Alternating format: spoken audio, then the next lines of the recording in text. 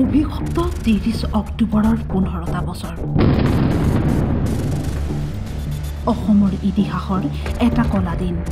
ধাৰাবাহিক বিস্ফোৰণত কঁপি উঠিছিল সমগ্ৰ অসম। আজি অভিশপ্ত ত্ৰিছ অক্টোবৰ।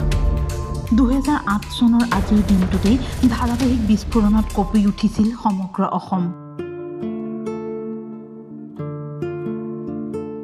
কলা ধোঁৱাই আৱৰি ধৰিছিল চাৰিও দিশ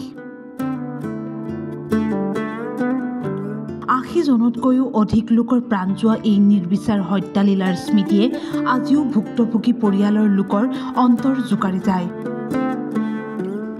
ধাৰাবাহিক বিস্ফোৰণৰ ফলত বহুজনে হেৰুৱাইছিল জীৱন বহুজনে আঁকোৱালি লৈছিল পংগুত্ব। সেই ঘটনাই আজি সম্পূৰ্ণ কৰিলে পোন্ধৰটা বছৰ।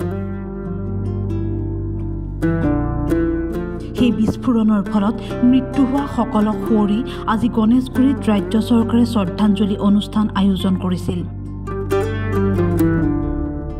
সেই শ্ৰদ্ধাঞ্জলি অনুষ্ঠানত উপস্থিত হৈ উচুপি উঠিল এগৰাকী মাতৃ।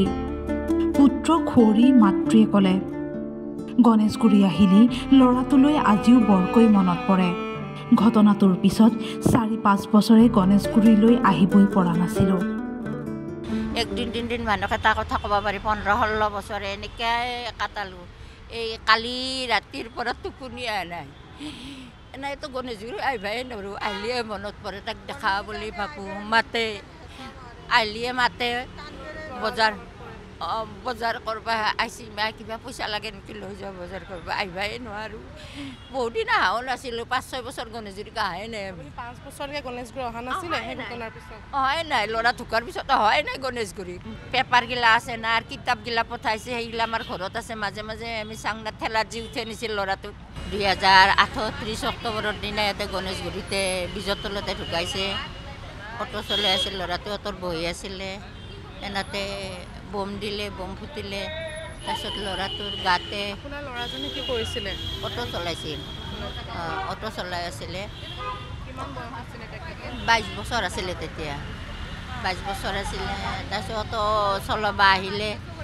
মই তেতিয়া দোকান দি আছোঁ ফুটপাথত। এই গণেশগুৰি এই লেচু বেঙনৰ চক পাপলিহঁতৰ চকত ফুটপাথত মই দোকান দি আছিলোঁ। তাৰপিছত বহুত ডাঙৰ শব্দ হ'ল জেগা জেগা লৰি গ'ল আৰু। এই গণেশগুৰিত বম ফুটিছে বম। শুনিছোঁ বেছি দূৰ নহয় নহয় আমাৰ হেৰি তাৰপিছত শুনিছোঁ শব্দ। শুনি কিনে আৰু ল'ৰাক তেতিয়া যোগাযোগ কৰিছিলেনে ল'ৰাহঁতি যোগাযোগ কৰিছোঁ মোৰ ফোন নাছিলে ল'ৰাটোৰ এটা আছিলে ভাঙা ফোন এটা ল'ৰাই দিছিলে। তাৰপিছত ফোনটো হেৰিগিলা কাটি দিলে আৰু মোক নটা বজাত ল'ৰাটোৱে মাত দি আহিছে মা মই দুটা ভাড়া মাৰি আহোঁ ঘৰত বজাৰ নাছিলে তাৰমানে। ঘৰত বজাৰ নাই। তুমি চিন্তা কৰিবা নালাগে তুমি দোকান দি বজাৰ কৰি লৈ যোৱাকলৈকে বহুত দেৰি হ'ব। গতিকে মই দুটা ভাড়া মাৰি বজাৰ লৈ যাম তুমি চিন্তা নকৰবা।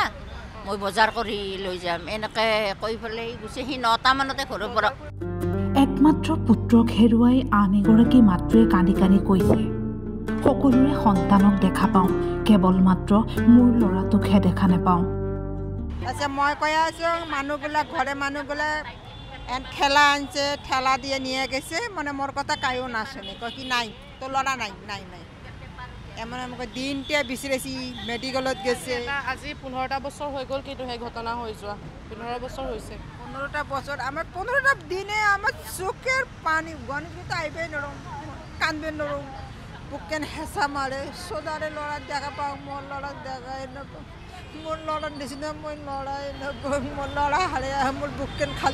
মিনিস্টারে শাস্তি দিবে না আমার পাবলিকের হাতুর দেখ না, আমি যে দিবে লাগে আমি সে শাস্তি দেব আমি সদাই সুখের পানি পেলে ভাত খাও ঘুরবে যাও, এনেকাই জীবনটা কাটে কবারও নড়ুম কান্দে নড়ুম কান্দিলে বুকের হেঁচা মারে এনেকাই জীবনটা চলি আছে আর কি একটা ল'ৰা জন্ম দিয়ে মই কি কৰিলোঁ মই ইমান কপালতে নাই।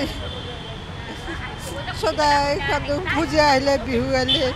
মোৰ ল'ৰাৰ নিচিনা মই ক'তোৱে ল'ৰা দেখা নাপাওঁ। মোৰ ল'ৰাতে ল'ৰাই আছিল ইমান ভাল আছিল ল'ৰা। নিজৰ আপোনজনক হেৰুৱাই পোন্ধৰটা বছৰে কেৱল একুৰা জীয়া জুই বুকুত কঢ়িয়াই ফুৰিছে এইসকল আত্মীয়ই। বছৰৰ পাছত বছৰ পাৰ হৈ গ'লেও কোনোদিনেই যেন শেষ নহয় সেই বুকুৰ জুইকুৰা। অসমবাসীৰ বাবে এটি পাহৰিব নোৱাৰা এটা স্মৃতি আজি পোন্ধৰটা বছৰত ভৰি দিলে। এই যিটো আমাৰ বিভীষিকা বিভীষিকাময় কলা অধ্যায় এটা আমাৰ অসমবাসীয়ে দেখিছিলে। সেইটোৰ যাতে দুনাই নহয় তাৰে নেদেখাজনৰ ওচৰত আমি প্ৰাৰ্থনা জনাই আমাৰ গুৱাহাটী প্ৰশাসনৰ ফালৰ পৰা তথা আমাৰ গুৱাহাটী পৌৰ নিগমৰ ফালৰ পৰা আজি ইয়াত শ্ৰদ্ধাঞ্জলি অনুষ্ঠানৰ আয়োজন কৰিছে। যিসকল সেই কলা দিনটোত আমাৰ মাজৰ পৰা হেৰাই গৈছিলে তেওঁলোকৰ পবিত্ৰ স্মৃতিত আজি ইয়াত শ্ৰদ্ধাঞ্জলি অনুষ্ঠানৰ আয়োজন কৰিছে। ভিডিঅ' জাৰ্নেলিষ্ট অমৰ দেউৰীৰ সৈতে গৰিমা শৰ্মাৰ সহযোগত নিউজ ডেস্ক টাইমি।